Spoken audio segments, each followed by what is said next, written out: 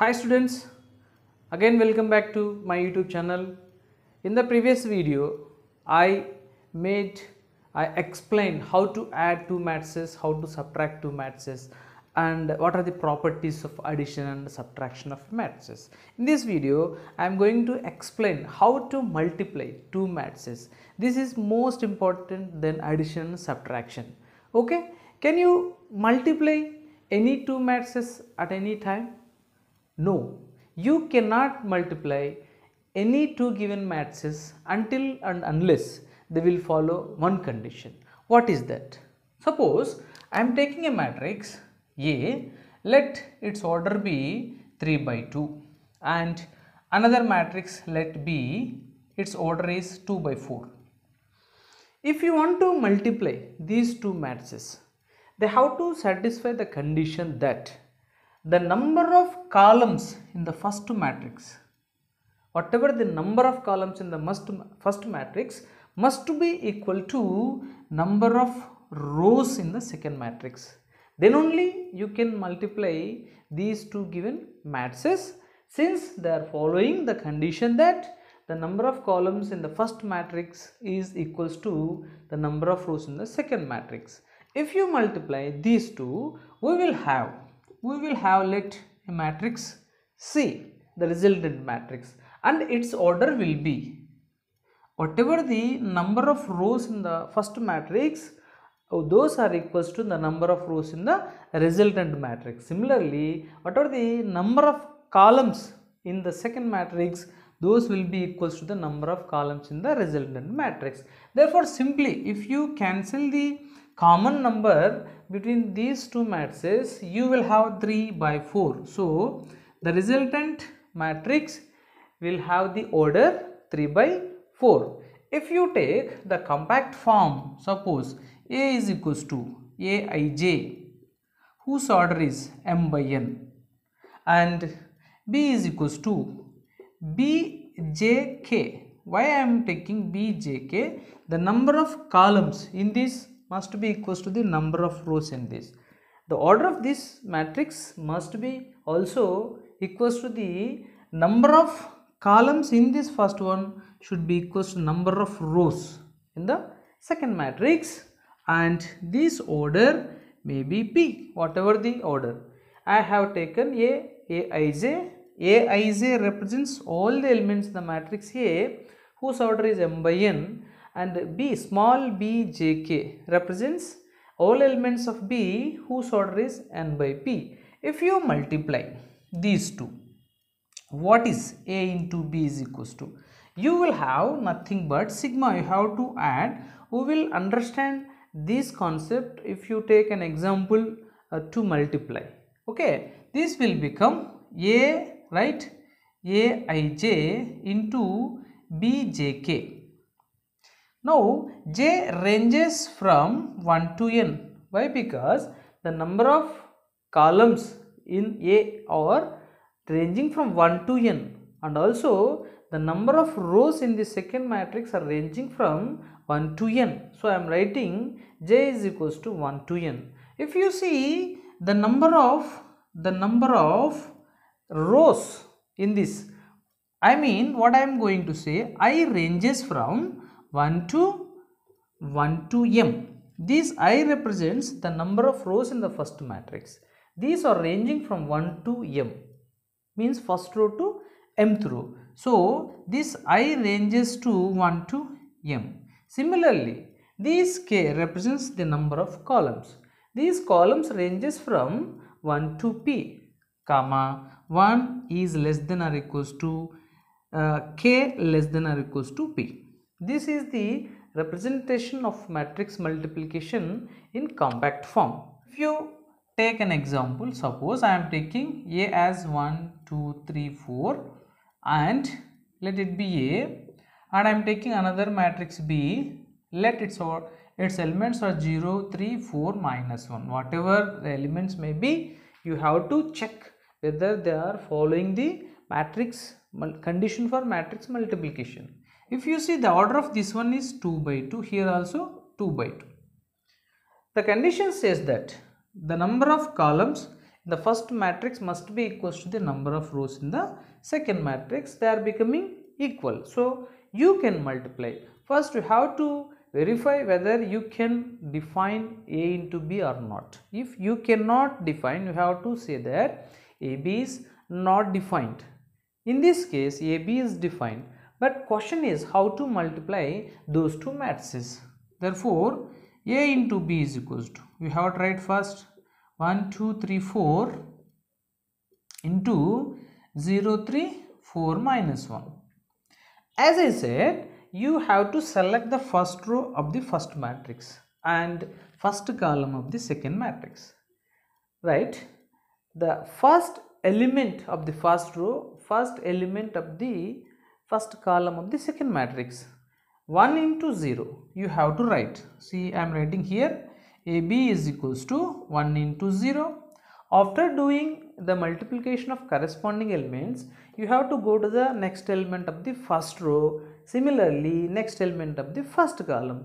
Plus 2 into 4 first row first column is over. Similarly first row second column you are multiplying the columns with the first row. So all elements should be written in the first row itself. If you are multiplying with the first row whatever the number of columns see first row first column one element first row second column another element first row third column. If there is third column also you have to multiply first row with third column. But in this case you have only two columns. After completion of first row first column go to first row second column. 1 into 3 right? Plus 2 into minus 1 2 into minus 1 if you go to the second row second row is 3 4 similarly take first row second row first column. 3 into 0 plus 4 into 4 you have to move. You have to take corresponding elements of the second row to the corresponding elements of the first column coming to second row second column. 3 into 3 those are corresponding elements into 4 into minus 1 right? So this is matrix multiplication. If you do simplification 1 into 0 is 0 plus 2 4 is 8 1 into 3 3 minus 2 into minus 1 is minus 2 in this case also 0 plus 16 this is 9 minus 4 that is equals to a into b is equals to 8 so 1 16 5 this is the matrix ab in this way you can multiply two matrices. We will take another example. Now i have taken two matrices. A 1 3 2 4 its order is 2 by 2 if you see the second matrix whose order is 2 by 3 you have to verify whether they are conformable for multiplication conformable means. Are they satisfying the condition for multiplication? If they will satisfy then you can go further. In this case if you see the number of number of columns in a is equals to number of rows in b. Both are equal. These are number of columns in the first matrix these are number of rows in the second matrix. Both are equals to 2 therefore ab is defined. Means you can multiply a and b. After verifying their conformability you have to multiply. 1 3 2 4 into 2 0 2 3 1 8 as we discussed first row first column. 1 into 2 is 2 plus. You have to go to the next element of the first row as well as next element of the first column. 3 3 is a 9 similarly first row second column. 1 into 0 0 plus 3 into 1 3 first to third column. Since you have that third column also you have to write the element here the first row itself. 1 into 2 2 plus 3 into 8 3 8 ja 24 with the first row all columns are over. Take the second row. Multiply all the columns as usual. 2 into 2 4 plus 4 into 3 12 first row first column is over. First row second column. 2 into 0 is 0 plus 4 into 1 is 4 next second row third column. 2 2s are 4 plus 4 8 are 32 so this is over.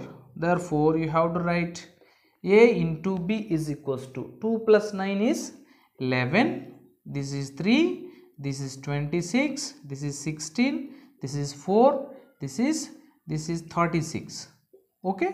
In this way you can multiply any two matrices if they satisfy the condition that number of columns in the first matrix are equals to the number of rows in the second matrix. Now we will discuss the properties. The properties, the first property is commutative property. We come across this property in matrix addition also. If A plus B is equals to B plus A, then we will say that matrix addition is following the commutative law. But here, if A and B are two matrices, then AB a into b is not equals to ba always. It is not equals to always. Only sometimes a into b is equals to b into a sometimes but always not. If you take a and b as your diagonal matrices you know that diagonal matrices or the matrices whose diagonal elements are non-zero and remaining elements are 0 i am taking simple matrices. Let a is equals to 2 0 0 3 okay? And b is equals to 1 0 0 4 see these two are diagonal matrices. If you multiply these two matrices these are diagonal elements. These are also diagonal elements. If you multiply these two matrices you will find that a into b is equals to b into a. Let's verify it right students? A into b is equals to 2 0 0 3 into 1004 they are conformable for multiplication since the number of columns which are 2 are equals to the number of rows in the second matrix. If you do the multiplication 2 into 1 is 2 plus 0 into 0 is 0 so 2 plus 0 is 2 first row second column 2 into 0 is 0 plus 0 into 4 is also 0 therefore 0 second row first column 0 into 1 is 0 plus 3 into 0 is 0 therefore 0 and second row for second column 0 into 0 is 0 plus 3 into 4 is 12 so therefore a into b is 2 0 0 12 now we will go to find what is b into a the matrix b is 1 0 0 4 into 2 0 0 3 is the matrix A. If you do the multiplication same as above, you will have 1 into 2 is 2 plus 0 into 0 is 0. Therefore, 2 plus 0 is 2. Okay. Next, first row, second column 1 into 0 is 0 plus 0 into 3 is also 0. 0. Next, second row, first column 0 into 2 is 0 plus 4 into 0 is also 0. 0 plus 0 is 0 next 0 plus 0 0 into 0 plus 4 into 3 so 4 into 3 is 12 0 plus 12 is 12 so are you getting the same matrix again? Therefore you will say that a into b is equals to b into a only when a and b are diagonal matrices coming to the next property associative to property in this case you have to take three matrices let them A, B and C. If you, you take three matrices and if they satisfy the relation that okay A into B into C is equals to A into B into C then you will say that the matrices A, B and C are uh, following the associative property under multiplication. Here the condition is that A, B should conformable for multiplication as well as B and C are also conformable for multiplication then only you can verify whether these products are equals to these products if they will satisfy if they will uh, give the same matrix on both sides you will say that A, B, C over following the associative property. Distributive property. Students will get confusion here uh, between uh, the associative property and the distributive property. If you see in associative property, they will the operation is only one either plus or multiplication or minus. Here what is the operation here? There are four fundamental operations addition, subtraction, multiplication and division. In maths we are dealing only with addition, subtraction and multiplication. There is no division in matrices. So A into B into C. See we are following only one operation that is multiplication. Then we have to identify that that is associative property. In this distributive property we will operate two operations that is A into B plus C.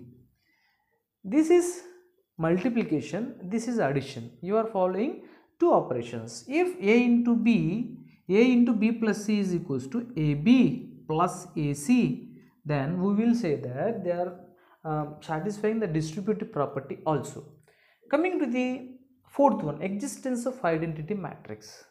In addition of matrices also, we discussed that O is the additive identity element. What is the additive identity means? If you or if you are doing any operation on a matrix, if you are getting the same matrix again. In case of addition, if you take matrix A and if you are adding a matrix O, you will get the same matrix again. So you are doing the addition and you are getting the same matrix. Then this O is called additive identity under addition of matrices. Similarly, there is a matrix which gives us the same matrix when you multiply it with any matrix. Suppose I am taking A and I am multiplying with I, then you will have A again. This I is called identity matrix. You know what is identity matrix? If you go through the video in which I discussed the types of matrices very clearly, then you will get better understanding. In this case, if A and B are conformable for multiplication and also I into A will also give you the same matrix again. Therefore, this I is called identity element, identity matrix under multiplication. Next and this one is very important property.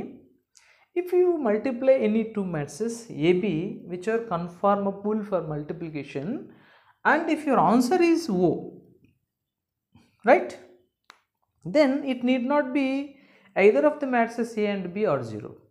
If you go back to the algebra, product of, if product of any two variables is 0, suppose you are multiplying x and y, your answer is 0, means definitely either x or either y or both x and y must to be 0, either x or y or both x and y must be 0 then only your result will be 0 but in this case even though after multiplying two matrices if your answer is O you will understand that either of them may not be 0 a may not be 0 a may not be o b may, uh, may not be o but product may be o. This will happen in matrices but it will not happen in algebra. So these are the important properties. Now we will discuss some important notes also. These notes are very important. The note number 1 says if AB is defined then BA may or may not be defined. In this case if A into B is defined means the number of columns in the matrix A or equals to the number of rows in the matrix B then it may not be uh, BA is defined. Suppose if you take any matrix suppose A uh, 3 by 2 okay B 2 by 4 AB is defined that means these two and these two are equal. Number of columns number of rows are equal. If you take BA B into A that means B is 2 by 4 and uh, this A is 3 by 2 if you observe the number of columns in the matrix B are not equals to the number of rows in the matrix A. Therefore it is always AB is not equals to BA if AB is defined BA may or may not be defined if AB and BA are both defined suppose then AB may or may not be equals to BA. AB is defined and also BA is also defined but always AB may or may not be equal. Coming to the third property AB if AB is equals to minus BA if AB and BA are defined and uh, A into B is equals to minus B into A then A and B are called anti-commute. You come across the commutative law in properties of uh, multiplication of matrices. See we said that A into B is not always equals to B into A but if A into B is equals to minus B into A then we will say that A and B are anti-commutative. This fourth property we just discussed what it says multiplication of diagonal matrices or commutative. That means generally a into b is not equals to b into a we discussed. And we have taken one example uh, by taking two diagonal matrices. If you multiply a into b and b into a they are always equal. If they are diagonal just go through that example i discussed in the properties. The fifth one if i is an unit matrix you know that unit matrix in unit, mat unit matrix is a square matrix whose diagonal elements are 1 and remaining elements are 0. If you take I2, what is I2? I2 says that there are two rows and two columns. It's a square matrix. As I said, the diagonal elements are equals to 1 and remaining elements are 0. You may take 3 by 3 also, 3 rows and 3 columns. Whatever the order may be, if you multiply it to 2 times or 3 times, whatever the number of times, but the power should be equals to positive integer. Whatever the power you are taking that should be natural number. Whatever the number of times if you multiply the identity matrix with itself your answer always i. Okay? Coming to the sixth one this is very important. Students are confusing here by comparing these formulas with algebraic formulas. In algebra what it says a plus b whole square is equals to a square plus 2ab plus b square. But here a plus b whole square. If a and b are of the same order then a plus b whole square is equals to a square plus ab plus ba plus b square. Since ab is not equals to ba you have to write them separately. That is the reason why you are writing ab and ba separately similarly a minus b whole square a minus b whole square can be written as a minus b into a minus b by writing a minus b into a minus b, you can multiply. First, a into a is a square. Next, a into a into minus b that is minus ab. Next, minus b into a minus minus ba. Next, minus b into minus b. Minus and minus will become if you multiply plus plus b square. Similarly, in this case also in algebra, a plus b into a minus b is equals to a square minus b square, but here it is not correct. a plus b into a minus b is equals to a square minus ab plus ba minus b square. Here, here we have to multiply. a into a is a square. a into minus b is minus ab. Next plus b into a plus ba plus b into minus b minus b square. In this manner, if you multiply this also, you will get that result. Finally, a into minus b or minus a into b will give you minus ab. These are the definition of the multiplication properties and nodes. I hope this video somewhat helpful to you. If you like this video, don't forget to share it and subscribe to my channel and encourage me to do more uh, videos on important topics. You will meet again in the next video. Until then, have a nice day. Thank you.